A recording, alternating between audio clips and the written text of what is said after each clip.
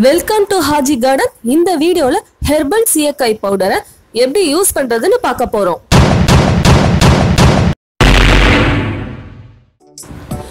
இப்போ போன வீடியோல நம்ம ஹெர்பல் சீயக்காய் பவுடரை எப்படி தயாரிக்கிறதுன்னு பார்த்தோம். இப்போ அந்த பொடியை நம்ம அப்படியே யூஸ் பண்றதை விட கூடுதலா ஒரு சில ப்ராடக்டை யூஸ் பண்ணா இன்னும் எஃபெக்ட் நமக்கு கூட கிடைக்கும். அது என்னென்னு பார்க்கலாம்.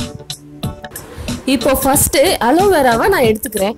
அதுல ரெண்டு சைடும் உள்ள ஸ்கின் அப்படியே பீல் பண்ணி எடுத்துடணும். அது எடுக்கிறதுக்கு முன்னாடி நல்லா வாஷ் பண்ணிக்கோங்க. இல்லைன்னா ஸ்கின் அலர்ஜி வந்து வர்றதுக்கு சான்ஸ் இருக்கு. அப்படியே ஒன்று ஒன்றா குட்டி குட்டி பீஸாக நீங்கள் கட் பண்ணி மிக்ஸி ஜாரில் போட்டுக்கோங்க. ரொம்ப கர்லி ஹேராக ரொம்ப ஹேர் ட்ரையாக இருக்கிறவங்க இந்த அலோவேரா யூஸ் பண்ணால் நல்ல எஃபெக்ட் கிடைக்கும். ஹேர் நல்ல சாஃப்டாக இருக்கும். சிக்கு இல்லாம இருக்கும் சீவுறதுக்கு நமக்கு கொஞ்சம் ஈஸியா இருக்கும். இப்போ அடுத்து நம்ம ஆல்ரெடி ப்ரிப்பேர் பண்ணி வச்ச ஹெர்பல் சீயக்காய் பவுடரை நம்ம இதுல மிக்ஸ் பண்ணிக்கலாம். உங்களுக்கு உங்களோட ஹேர் எவ்வளோ இருக்கோ அதுக்கு தகுந்த மாதிரி நீங்க மிக்ஸ் பண்ணிக்கோங்க. நாம ஏன் இந்த ஹெர்பல் பவுடரை இந்த மிக்ஸி ஜார்ல போடுறோம்னா இதுல போடும்போது உங்களுக்கு ஈஸியா பிளெண்ட் ஆயிரும். உங்களுக்கு ஒரு பேஸ்ட் மாதிரி வந்துடும் ஈஸியா இருக்கும் கம்ஃபர்டபுளா இருக்கும் யூஸ் பண்றதுக்கு. இப்போ அடுத்து இதுல ஒரு ரெண்டு டேபிள் ஸ்பூன் கேர்டை மிக்ஸ் பண்ணிக்கலாம். உங்களுக்கு ஆல்ரெடி தலைவலி இருந்ததுன்னா இல்ல சைனஸ் ப்ராப்ளம் இருந்ததுன்னா உங்களுக்கு ஒரு அடிக்கடி கோல்டு வந்துச்சுன்னா அந்த ப்ராப்ளம்லாம் இருந்ததுன்னா உங்களுக்கு இந்த ஆப்ஷனை நீங்க கட் பண்ணிக்கலாம். ஏன்னா நம்ம ஆல்ரெடி ஆலோவேரா பாசிப்பயிறு வெந்தயம் இதெல்லாம் ஆட் பண்ணியிருக்கோம்.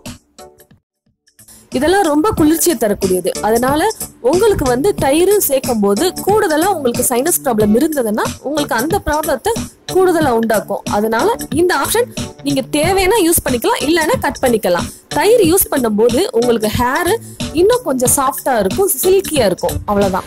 இப்போ இந்த பேஸ்ட் ப்ரிப்பேர் பண்ணியாச்சு. இதுல ரெண்டு ப்ராடக்ட் மட்டும் தான் நம்ம மிக்ஸ் பண்ணியிருக்கோம்.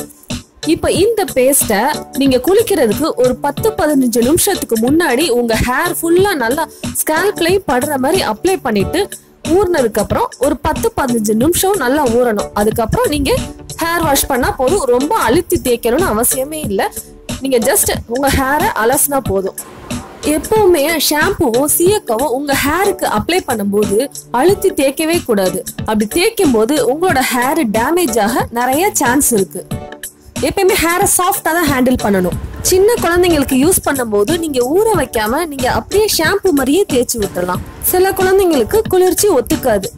இந்த பேஸ்ட்டை வீக்லி ட்வைஸ் நீங்க யூஸ் பண்ணா கண்டிப்பா உங்களுக்கு ஹேர் வந்து நல்லா சில்கியாவும் ஷைனிங்காவும் நல்ல ஹேர் க்ரோ உங்களுக்கு இம்ப்ரூவ் ஆகிறத நீங்கள் பார்க்கலாம்.